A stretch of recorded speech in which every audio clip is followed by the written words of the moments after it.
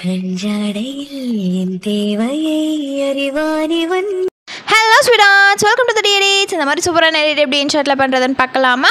So இதுக்கு தேவையான materials எல்லாமே நான் லிங்க் டிஸ்கிரிப்ஷனில் கொடுத்துருக்கேன். மறக்காமல் போய் செக் பண்ணிக்கோங்க. மெட்டீரியல்ஸ் எப்படி டவுன்லோட் பண்ணுறதுன்னு அதுக்கு மேலேயே லிங்க் இருக்கும். தெரியாதவங்க பார்த்துக்கோங்க. இதில் வந்து ஃபர்ஸ்ட்டு ஃபோட்டோ வச்சு தான் எடிட் பண்ண போகிறோம் ஃபோட்டோ செலக்ட் பண்ணிவிட்டு பிளாங்க் செலக்ட் பண்ணிக்கோங்க. Then nine to sixteen ratio வச்சுட்டு கட் அவுட்னு ஒரு ஆப்ஷன் இருக்குது பாருங்கள் அது செலக்ட் பண்ணிக்கோங்க. அவ்வளோதான் இப்போ வந்து பிப் ஆப்ஷன் செலக்ட் பண்ணிவிட்டு நான் இந்த ஃபோட்டோ ஃப்ரேம் கொடுத்துருக்கேன். இதை டவுன்லோட் பண்ணி வச்சுக்கோங்க. ஸோ இது கரெக்டாக சைஸ் வந்து இந்த மாதிரி சின்னது பண்ணிவிட்டு நான் வைக்கிற இடத்துல ப்ளேஸ் பண்ணிக்கோங்க. எதுக்குன்னு அப்புறம் சொல்கிறேன் இப்போ வந்துட்டு மூவ் பண்ணிட்டு வந்தீங்கன்னா உங்களுக்கு வந்து காப்பின்னு ஒரு ஆப்ஷன் இருக்கும். ஸோ இதே மாதிரி நாலு இமேஜ் வந்து நம்ம காப்பி பண்ணி வச்சுக்க போகிறோம் ஐ மீன் அந்த நம்ம அந்த இதில் வந்ததில்ல ஸோ அதுக்கேற்ற மாதிரி கரெக்டாக பொசிஷன் கொண்டு வர போகிறோம் இப்போ காப்பி பண்ணிவிட்டு கரெக்டாக அதுக்கு நேராக கீழே. அதே மாதிரி காப்பி பண்ணிட்டு இந்த சைடு நேராக அதே மாதிரி நாலு ஃப்ரேம் வந்துட்டு கரெக்டாக செட் பண்ணி வச்சுக்கோங்க. ஏன் நம்ம ரொம்ப கீழே வைக்கிறேன்னு நான் வந்துட்டு வீடியோ போகிறப்ப உங்களுக்கே புரிஞ்சிடும். இதே மாதிரி வைங்க கீழேயே வைங்க. மேலே கொண்டு போய் வைக்க வேணாம். இப்போ வந்துட்டு இதே மாதிரி காப்பி பண்ணிவிட்டு கரெக்டாக நாலு ஃப்ரேமும் வச்சுக்கோங்க. வச்சதுக்கப்புறம் நம்ம வந்து இமேஜஸ் வந்து ஆட் பண்ண போகிறோம் இமேஜஸ் எல்லாம் நான் டெலகிராம் சேனலில் ஆல்ரெடி நிறைய அப்லோட் பண்ணியிருக்கேன். சேனலோட லிங்க் கூட டிஸ்கிரிப்ஷனில் இருக்கும். ஃபாலோ பண்ணாதவங்க ஃபாலோ பண்ணிக்கோங்க. இப்போ வந்துட்டு இந்த மாதிரி வச்சதுக்கப்புறம் நம்ம வந்து பிப் ஆப்ஷன் செலக்ட் பண்ணிவிட்டு இமேஜ் வந்து செலக்ட் பண்ணிக்கோங்க. செலக்ட் பண்ணிவிட்டு கரெக்டாக வந்துட்டு அந்த ஃப்ரேம் சைஸ்க்கு வரணும். அதனால நம்ம வந்துட்டு க்ராப் ஆப்ஷன் வந்து யூஸ் பண்ணலாம். க்ராப்பில் வந்து ஒன் இஸ் டூ ஒன் வந்து செலக்ட் பண்ணிக்கோங்க. செலக்ட் பண்ணிவிட்டு கரெக்டாக அந்த ஃப்ரேமில் வர மாதிரி வச்சுக்கோங்க. ஃப்ரேமில் வர மாதிரி வச்சுட்டாவே போதும். இப்போ என்ன பண்ணுறோன்னா அந்த ஃபர்ஸ்ட் இமேஜ் வந்துச்சுல அதுவே நீங்கள் காப்பி பண்ணிவிட்டு இப்போ வந்துட்டு ரீப்ளேஸ் கொடுத்தீங்கன்னா உங்களுக்கு அந்த இமேஜ் வந்துடும் நீங்கள் வந்து வேறு இமேஜ் சேஞ்ச் பண்ணிவிட்டு மறுபடியும் க்ராப் பண்ணிக்கோங்க. நான் ஃபஸ்ட்டே வந்து நாலு இமேஜையும் இது செட் எடுத்து வச்சுட்டு அதுக்கப்புறம் நான் வந்து ஃப்ரேமில் கொண்டு போய் செட் பண்ணிக்கிறேன். அப்போ வந்து உங்களுக்கு ரொம்ப ஈஸியாக இருக்கும். அதனால் சொல்கிறேன் இப்போ வந்துட்டு கரெக்டாக அந்த ஃப்ரேம் மேலே கொண்டு போய் வச்சுட்டு நீங்கள் வந்து ஃப்ரேமை செலக்ட் பண்ணுங்கள் அப்போ வந்துட்டு உங்களுக்கு வந்து இமேஜ் வந்து பின்னாடி போயிடும் ஸோ இதை வந்து சேவ் பண்ணிக்கோங்க. இதே மாதிரியே உங்களுக்கு வந்துட்டு எவ்வளோ ஃப்ரேம்ஸ் வேணுமோ அதை செலக்ட் பண்ணிக்கோங்க. இப்போ வந்து இந்த ஒரு இமேஜ் வந்து நம்மளுக்கு வந்துட்டு ஃபைவ் செகண்ட்ஸ் வரும். நான் ஃபிஃப்டீன் செகண்ட் வீடியோக்கு இந்த மாதிரி த்ரீ ஃப்ரேம் வந்து சேவ் பண்ணிக்கிறேன். ஓகேவா இப்போ இதுலேயே மறுபடியும் வந்துட்டு அந்த ஹார்ட் வந்து எப்படி பண்ணுறதுன்னு தான் நம்ம பார்க்க போகிறோம் இப்போ வந்துட்டு நீங்கள் இந்த இமேஜ் வந்து எப்படி பண்ணுறதுன்னு ஆல்ரெடி சொல்லிவிட்டு இப்போ மறுபடியும் நியூ செலக்ட் பண்ணிக்கோங்க. இமேஜ்லேயே நியூ பிளாங்க் செலக்ட் பண்ணிவிட்டு நான் வந்துட்டு பிப் ஆப்ஷன் போய்க்கோங்க. போயிட்டு இமேஜ் வந்து உங்களுக்கு எந்த இமேஜ் வேணுமோ அந்த சென்டரில் அந்த இமேஜ் வந்து செலக்ட் பண்ணிவிட்டு நல்லா ஜூம் பண்ணிக்கோங்க. நல்லா ஜூம் பண்ணிவிட்டு நான் சொல்கிறது வந்து ஃபாலோ பண்ணுங்கள் இதுக்கப்புறம் ரெண்டு மெட்டீரியல் ஹார்ட் இது ரெண்டுமே ஹார்ட்டு தான் அந்த டவுன்லோட் பண்ணிக்கோங்க.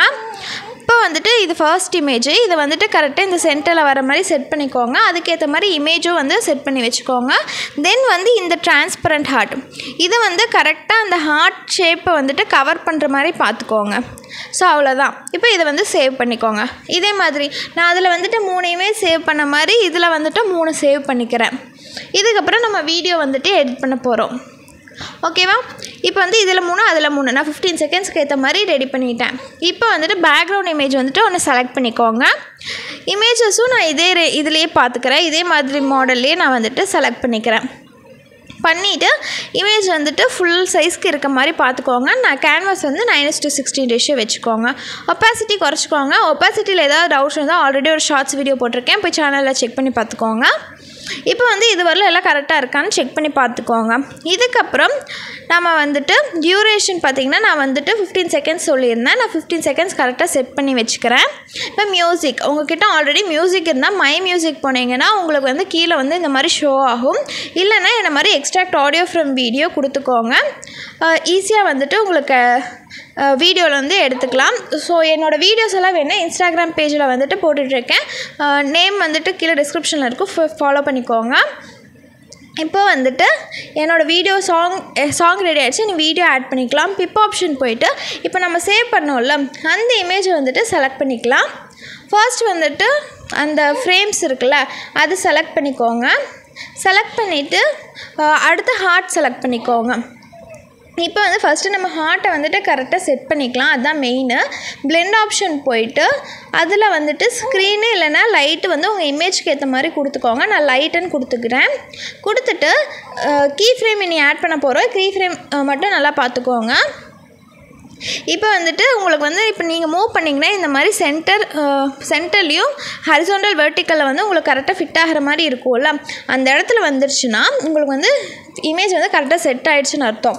இப்போ வந்து ஸ்டார்டிங் ஒரு கீ ஃப்ரேம் இந்த மாதிரி எண்டிங் ஒரு கீ ஃப்ரேம் நான் கொடுக்குற மாதிரி செ செலக்ட் பண்ணிக்கோங்க. பண்ணிவிட்டு இப்போ ஸ்டார்டிங் வந்துட்டு நம்ம வந்து கீழே மூவ் பண்ண போகிற இமேஜை இந்த மாதிரி கீழே மூவ் பண்ணிக்கோங்க. நீங்கள் சைட்லலாம் மூவ் ஆகாத மாதிரி பார்த்துக்கோங்க. கரெக்டாக அதே சென்டர் அலைன்மெண்ட்லேயே இருக்கணும்.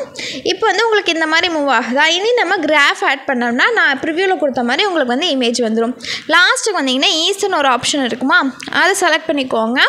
செலக்ட் பண்ணிவிட்டு நான் கொடுக்குற கிராஃப் வந்து செலக்ட் பண்ணிக்கோங்க. இந்த கிராஃப் தான் நம்ம யூஸ் பண்ண போகிறோம் வேறு எதுவும் யூஸ் பண்ண வேணாம். நான் சொல்கிறேன் சும்மா சொல்கிறக்காக அதை செலக்ட் பண்ணேன். நான் கொடுத்த கிராஃப் வந்து செலக்ட் பண்ணிக்கோங்க. அவ்வளோதான் செகண்ட் லைனில் செகண்ட் ஒன் உங்களுக்கு வந்துட்டு அதே தான் இதுலேயும் நம்ம யூஸ் பண்ண போகிறோம் இப்போ வந்து உங்க உங்களுக்கு வந்து ஹார்ட் இந்த மாதிரி வந்துருச்சா? இப்போ வந்து இதுலேயும் ஸ்டார்டிங் ஒரு கீ ஃப்ரேம் எண்டிங் ஒரு கீ ஃப்ரேம் வந்துட்டு செலக்ட் பண்ணிக்கலாம். இப்போ வந்து என்ன பண்ண போகிறோன்னா கரெக்டாக நீங்கள் வந்து இமேஜ் லாஸ்ட்டுக்கு வந்துட்டு உங்களுக்கு வந்து அந்த ஃப்ரேம் வந்துட்டு ஹார்ட்டுக்கு கரெக்டாக சென்டரில் இருக்கான்னு செக் பண்ணிக்கோங்க. அது மட்டும் பண்ணால் போதும். இப்போ வந்து இந்த மாதிரி சென்டர் கரெக்டாக இருக்கான்னு பார்த்துக்கோங்க. இப்போ வந்துட்டு ஸ்டார்டிங் வந்துட்டு இமேஜை வந்து கீழே கொண்டு போய்க்கிறேன் இந்த மாதிரி. அவ்வளோதான் எப்படி ஹார்ட்டை கொண்டு போனோம்? சேம் மெத்தட் தான் இதையும். இதே சேம் கிராஃப் தான் நான் இதுலேயும் யூஸ் பண்ணியிருக்கேன். பார்த்தீங்களா அதே தான் வேறு எதுவுமே இல்லை. இனி வந்துட்டு அந்த ஃபேட் ஆகிற எஃபெக்ட் மட்டும் எப்படின்னு நம்ம பார்த்துடலாம்.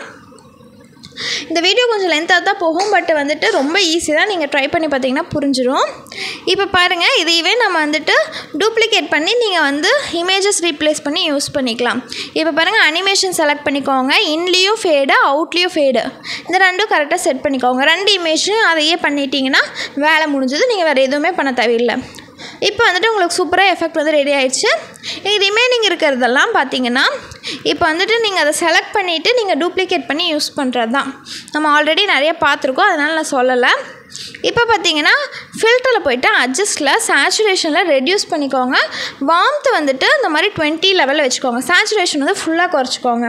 அவ்வளோதான் ஓகே இப்போ பாருங்கள் இது வந்துட்டு நீங்கள் மூவ் பண்ணிட்டீங்கன்னா கடைசியில் டூப்ளிகேட்னு ஒரு ஆப்ஷன் இருக்கும். அதை செலக்ட் பண்ணிவிட்டு ரீப்ளேஸ் கொடுத்துட்டிங்கன்னா நீங்கள் வந்துட்டு இமேஜஸ் வந்து ரீப்ளேஸ் பண்ணிக்கலாம்.